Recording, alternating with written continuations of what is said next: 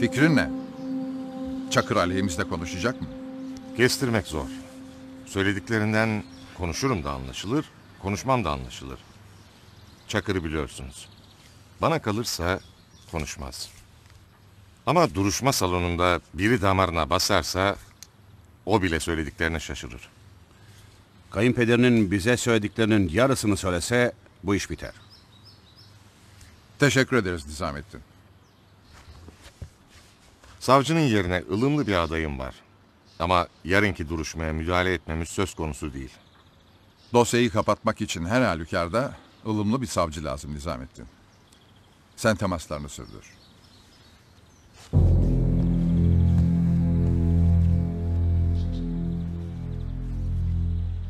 Dombalacı başaramadı.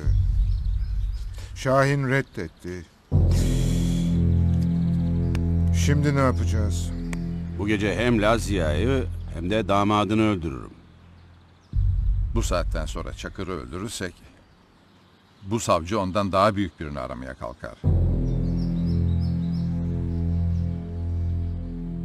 Ama savcıyı Tanrı'yla beraber öldürürsek Memleket karışır. iyi mi olur kötü mü olur? Berbat olur.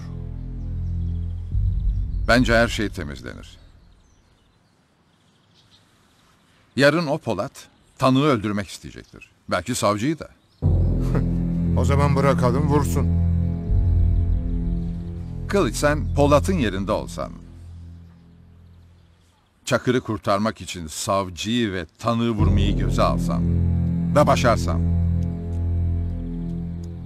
Başka neleri göze alırsın? Cezaevinde bir ömür yatmayı. Bunu göze alan adam oradan kaçmayı da planlamıştır. Oradan kaçmayı başaran adam da herkes için tehlikeli adamdır. Doğru. O yüzden savcıyla tanığı biz öldüreceğiz. Ceremesini de Çakır ve Polat çekecek.